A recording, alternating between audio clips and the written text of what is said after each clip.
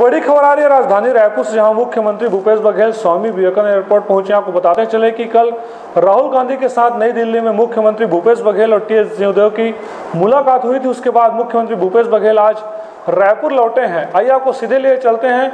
मुख्यमंत्री भूपेश बघेल क्या कुछ कह रहे हैं? कल राहुल जी से वेणुगोपाल जी से, पुनिया जी से मुलाकात हुई। छत्तीसगढ़ के योजनाओं के बारे में, यहाँ के जो विकास है, उसके बारे में, राजनीतिक स्थिति के बारे में चर्चा की गई और उन्हें यहाँ की स्थिति से अवगत कराया गया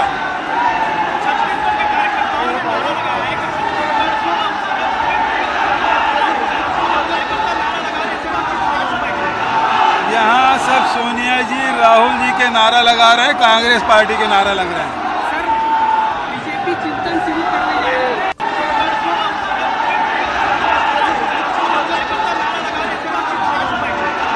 यहाँ सब सोनिया जी, राहुल जी के नारा लगा रहे हैं, कांग्रेस पार्टी के नारा लग रही है।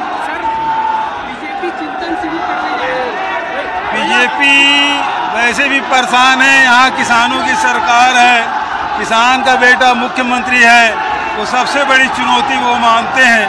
और छत्तीसगढ़ की जो संस्कृति है उसके पा, उसके पास भारतीय जनता पार्टी के इसके कोई जवाब नहीं है। बीजेपी कह रही ढाई ढाई साल के कार्यकाल को लेकर बीजेपी आरोप लगा रही है। कांग्रेस पार्टी अंतरकला से गुजर रही रमन सिंह कह रहे हैं कि हम तो जब तक में बैठे हुए लोग हैं ये देख रहे हैं। भारतीय जनता पार्टी 2003 से लेके 18 तक। लगातार पर भरोसा, तीन भरोसा की सरकार रही है। पहली बार भारतीय जनता पार्टी अपनी है, छत्तीसगढ़ में अपनी असलियत की जानकारी हुई और आज वो चौदह, पंद्रह साल में चौदह सीट में सिमट गए हैं।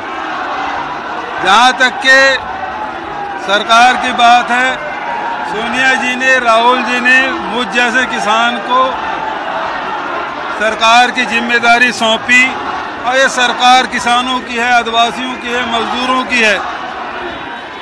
ये छत्तीसगढ़ के दो करोड़ अस्सी लाख लोगों की है, सबका प्रतिनिधित्व करती है, बहुत शानदार ढंग से काम कर रही है।